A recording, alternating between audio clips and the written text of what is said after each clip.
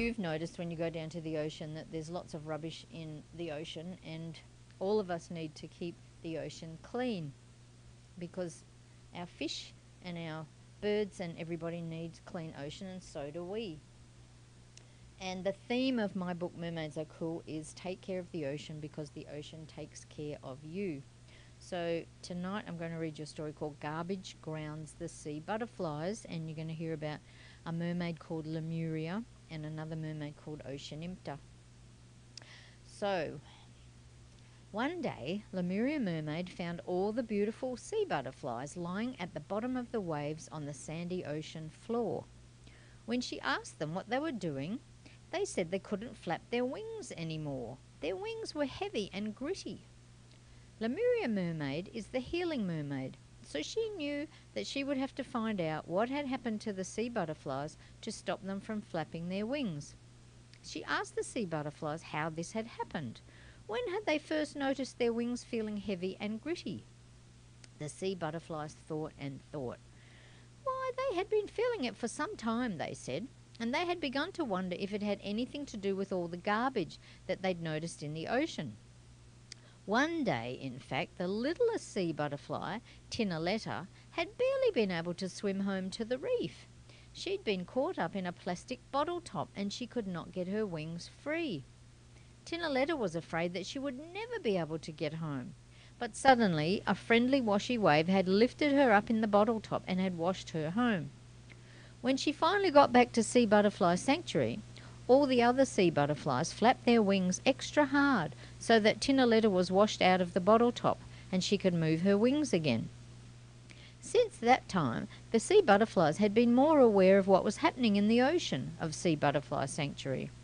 As much as they tried to keep it free of garbage, every day more and more rubbish swept into Sea Butterfly sanctuary.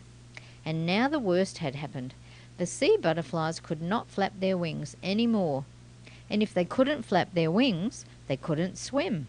And if they couldn't swim, they couldn't feed themselves and each other.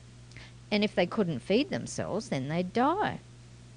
Lemuria Mermaid knew that she could not let that happen. We cannot have an ocean with no sea butterflies, she thought. We cannot have a world with no sea butterflies.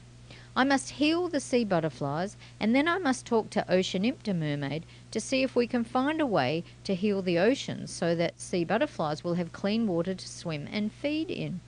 Because if the sea butterflies are being trapped by the garbage in the ocean, then so will all the other ocean creatures and even mermaids. Firstly, Lemuria Mermaid swam off to Mermaid Cave to bring in extra supplies of mermaid magic. She gathered all the magic she could carry and then swam swiftly back to Sea Butterfly Sanctuary. She sprinkled mermaid magic on the wings of every sea butterfly to clear out the garbage and its effects from their wings. In a minute and a second, the sea butterflies began to feel better. They could flap their wings again, and they could swim to the tiniest seaweed banks to feed on the tiniest, juiciest seaweed morsels. The sea butterflies were all very grateful to Lemuria Mermaid for healing them. Lemuria Mermaid was glad that the sea butterflies were well again, but she knew that only half of her job was done. She swam and swam as swiftly as she could to find Oceanimpta Mermaid. Oceanimpta Mermaid knew that people were responsible for all the garbage that was floating in the world's oceans. So she told Lemuria Mermaid it is the responsibility of people everywhere to keep the oceans clean. Somehow we must make them see how important it is to have clean oceans, she said, and Lemuria Mermaid nodded her head in agreement. So Oceanimpta and Lemuria reached into their mermaid magic seaweed sacks and pulled out their special secret shells. They beat out a loud drumming rhythm on the shells, which the ocean waves carried all around the world.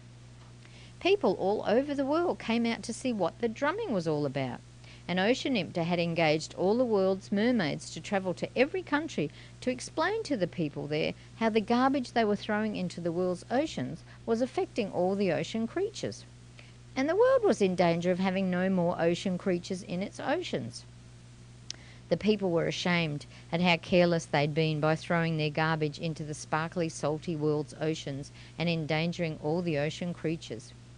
Oceanimpta, Lemuria, and all the mermaids told the people that they were all responsible for keeping the oceans clean, and so they were all responsible for cleaning up the mess they'd made. Now you must clean up all your garbage, said the mermaids. How? asked the people. Ocean Imp was quite a mathematical genius, and she had worked out a clever solution. Every day, for a year and a day, every person will pick up 17 pieces of garbage from the ocean, she said, and the other mermaids echoed her words all around the world. And you will not throw any more garbage into the ocean. So the people agreed that from now on they would not throw any more rubbish into the oceans of the world, and that for a year and a day they would each pick up 17 pieces of garbage every day. So the sea butterflies can now sleep easy at night, knowing that they will not be in danger from garbage in the oceans any more, and neither will any of the world's sea creatures. Well, I hope that when you go to the ocean, you pick up your 17 pieces of garbage, because I see garbage floating past me and I swim after it and I pick it up and I take it out and I throw it in the bin. And you won't believe it, but every year, and it's probably more every year, 66 million tonnes just of plastic gets thrown into the ocean. So we really need to stop doing that and clean up the oceans. Now I'm going to read you a poem about an alien. Um, it's in my book Oz Was. Have you ever met an alien? Um, I don't think I've met an alien, but maybe maybe there are some aliens that we don't even know are aliens because maybe they look like us. So this poem is called Suburban Alien. Buried in suburbia, where the lawns are neat and trim, I came upon an alien made entirely of tin. We sat a while and chatted, and then it rained fit to bust. I must start moving quick, he said, or I'll begin to rust. We don't have rain up on my star. The water is too thick by far. We drink green slime. It tastes like lime, and really I prefer it. Your rain is cool and sweet and nice, but too much cold turns it to ice. Green slime doesn't give us trouble. It floats around and turns to bubbles. We don't have rain up on my star. The water is too thick by far. We drink green slime. It tastes like lime, and really I prefer it. You must come too upon my star. It's not too close and not too far. You'll see the moon and lots of stars, and even one quite close to Mars. It's lots of fun up on my star, my star that's near, not really far. We sing fine tunes upon our moons. I play quite well upon guitar. But one thing you must not forget before your trip you get set to pack your bags quite full of rain. To be without it would be a pain.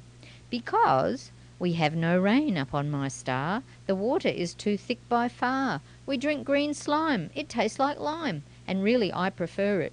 You know, Hawaii is a microcosm of the world with people here from all over the world. Alien. And now I, I know Hawaii is a microcosm of the traditional arts of the world with beautiful patterns from many countries. They've been in business for 38 years with wonderful Hawaii design boutique clothing.